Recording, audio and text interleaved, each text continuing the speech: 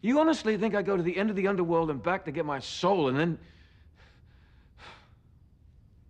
Buffy, I can barely live with what I did.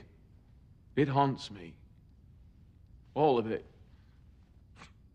If you think that I would add to the body count now, you are crazy.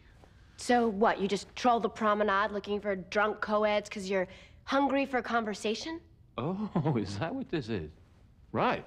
What? You're jealous. Don't play games. Not now. Yeah, you saw me chatting up another bird. You give me the eye to somebody else. Touched a nerve, didn't it? Don't flatter yourself. It burns, huh? But you can't admit it, so you trump up some charge about me being back on the juice. This vampire I killed told me. Told you what? That I go out? Yeah, I talk to people, women. Talk to them because I can't talk to you. Oh, Spike, save it. As daft a notion and soulful Spike the Killer is, it is nothing compared to the idea that another girl could mean anything to me. This chip, they did to me. I couldn't help it.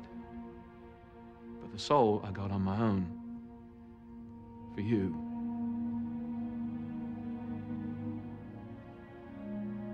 I know. So yeah, I go and pass the time.